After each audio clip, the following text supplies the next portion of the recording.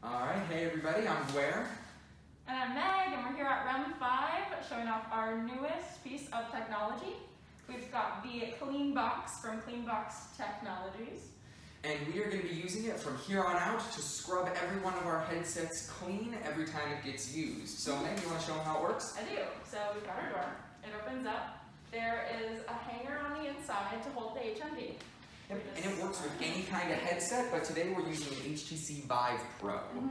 Close the door and turn it on. Easy as that. How long does it take to work? It takes 60 seconds. And then we have got our medical grade UVC light on the inside of the box. So it isn't using any heat, it isn't using any water. It's just using this light to get inside every crevice in the headset and eliminate any bacteria, virus, any nasty things that you don't want on your headset. Yep. Now, the Cleanbox does also come with an optional nano coating that you can apply to some of the contact surfaces. However, that's not compatible with some of the cleaning stuff we already do.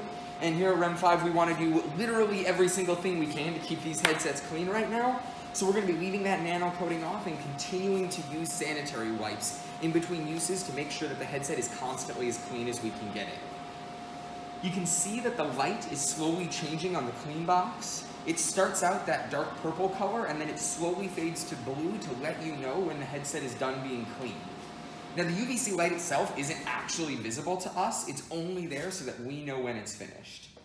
And then so when the process is complete, the light turns green and you just open it back up and here you have your 100% sanitized HMD headset. All right, thanks for watching and tune in for more awesome technology showcases here at REM5 as we get even cooler stuff into the building.